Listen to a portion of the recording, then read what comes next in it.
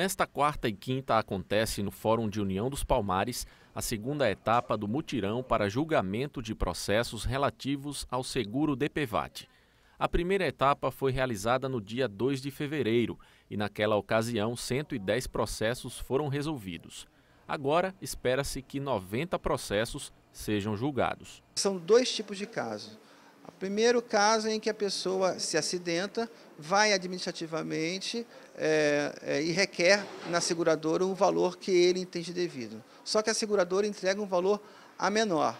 E aí ele contrata um advogado que vai fazer esse, esse valor que ele entende devido judicialmente.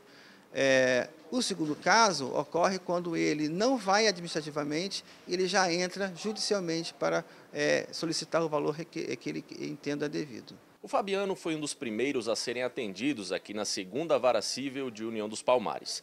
Em 2015, ele sofreu um acidente de moto que deixou algumas sequelas. Isso aqui meu ainda é tudo dormente ainda. É, isso aqui meu arrebentou tudo. Eu hoje ainda sinto tontura ainda. Quando eu pego peso, ainda quer sangrar o nariz ainda, não sinto cheiro de quase nada. Aí a situação é essa. O Fabiano aproveitou a oportunidade do mutirão para dar entrada no seguro.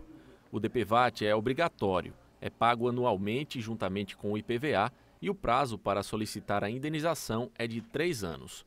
Yuli Rottermaia lembrou que o mutirão é uma iniciativa nova que tem dado muito certo em outros estados. É feito é, no Pernambuco, Rio de Janeiro, em todos os lugares são feitos assim. E, e é a forma mais rápida de se resolver esses processos de DPVAT. O magistrado disse ainda que, devido ao grande movimento de processos ligados ao DPVAT, que chegam até a segunda vara civil, provavelmente seja necessária uma terceira etapa de mutirão ainda este ano. No segundo semestre, né, porque nós já eliminamos 200 processos e é, foi fantástico, porque é, se acumulava aqui durante anos e a gente não tinha solução. Muito processo, no meu entender, para estar acumulado sem solução aqui numa vara.